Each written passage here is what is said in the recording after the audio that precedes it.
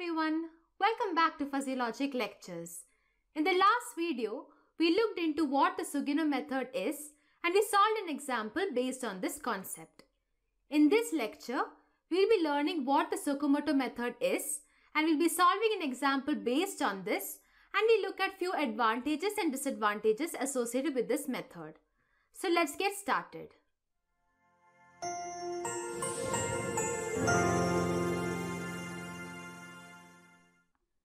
From our previous lectures, we have studied about the other two graphical techniques of inferences, which was the Mamdani model and the Sugeno model.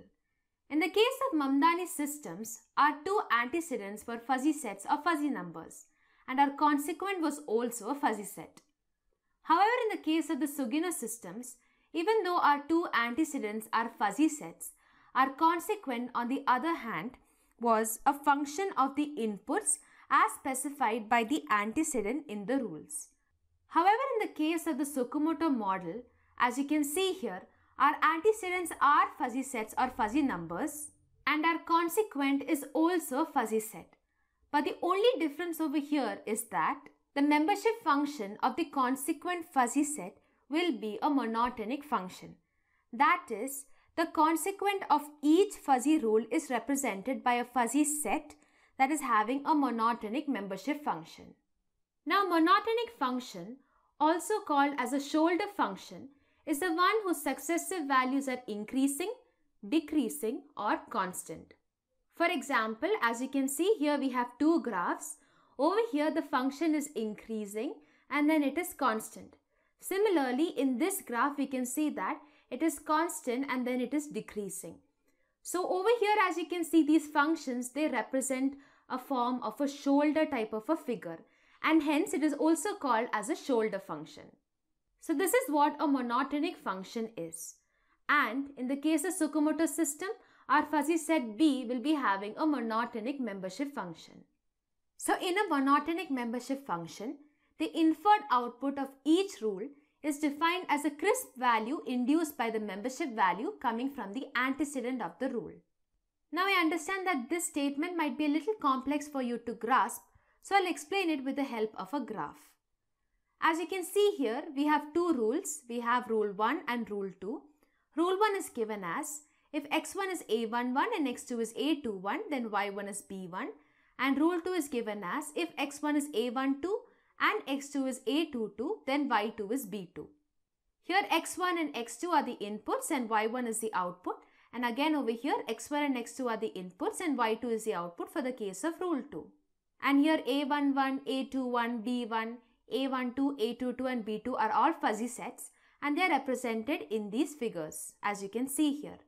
Mu over here represents the membership value and wx1 is a corresponding membership value for x1, wx2 is a corresponding membership value for x2 and wy1 is the corresponding membership value for y1 and same is the case for wy2. This is the corresponding membership value for y2. So as you can see here, First, we found out the corresponding membership value for all the inputs for both Rule 1 and Rule 2.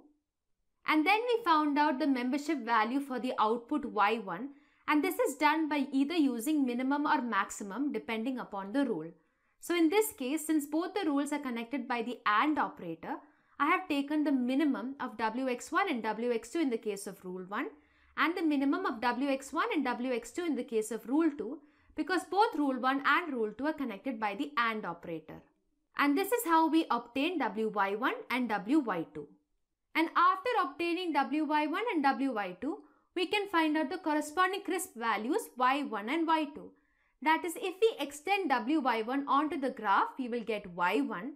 And if we extend WY2 onto the graph, we can get the crisp output Y2. And that is what I've meant by the above statement. That is the inferred output of each rule is defined as a crisp value which is y1 in this case and y2 in this case and this is induced by a membership value which is wy1 and wy2 that is coming from the antecedent of the rule. And after this we obtain our overall output which will be calculated by the weighted average of each rule's output that is the weighted average of y1 and y2 as that is, the overall output y star will be given as wy1 into y1 plus wy2 into y2 divided by wy1 plus wy2 where wy1 and wy2 are the corresponding membership functions of y1 and y2. So this is how you solve using the Tsukamoto method. Let's take a solved example so that you can understand this concept better. Here in this question, we have been provided with two rules. Rule 1 is given as if x1 is a1 and x2 is b1, then y1 is c1 and rule 2 is given as if x1 is a2 or x2 is b2, then y2 is c2. We have also been provided with the inputs of x1 and x2 as 2 and 5 respectively. And we have also been provided with the graphs of the fuzzy sets A1, B1, C1 and A2, B2 and C2 where mu represents the membership value. And as you can see here, the membership functions of our consequent graphs are all monotonic membership functions. So what we need to do first is that we have to find out the corresponding membership values for x1 and x2. That is first we'll do for x1 in the case of rule 1. So first we'll take 2 and then we need to find out the corresponding membership value. So let us extend 2 and we'll get it as 0.2. Therefore, our corresponding membership value for 2 will be 0.2. Similarly, we have to find out the corresponding membership value for 5. So first we take 5 and when we extend it, we will get it as 0.6. Therefore, the corresponding membership value for 5 will be 0.6. Now that we found out the membership values of x1 and x2, we need to find out the membership value of y1 which is wy1. And to do that, we have to take the minimum of the membership values of x1 and x2 because as we studied in our previous lecture, whenever the rules are connected by the AND operator, we have to take the minimum of the membership values of x1 and x2. And since rule 1 is connected by the AND operator, we have to take the minimum of 0.2 and 0.6 which is 0.2. So when we extend 0.2, we'll get it as this. That is our WY1 that is a corresponding membership value of Y1 will be 0.2 and when we extend it down we'll get a crisp output Y1. So we'll extend this down and we'll get this point that is 0.5.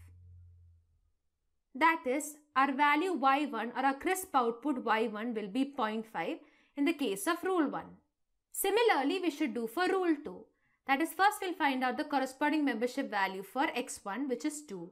So again we'll extend 2 and the corresponding membership value will be 0.1. That is Wx1 will be 0.1 when x1 is equal to 2. Similarly, we'll do for x2 which is equal to 5. That is we have to find out the corresponding membership value for 5 and when we extend this, we'll get it as 0.5. That is the corresponding membership value for x2 is equal to 5 will be 0.5 in the case of rule 2. Now we need to find out the membership function for our crisp output y2.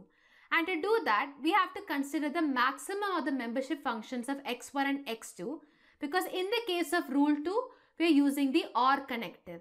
And whenever we use the OR connective, we have to consider the maximum of the membership values of x1 and x2. So here the maximum of 0.1 and 0.5 will be 0.5. And when we extend 0.5 onto our output graph, we will get a crisp output y2. That is when we extend 0.5, we will get it as 5.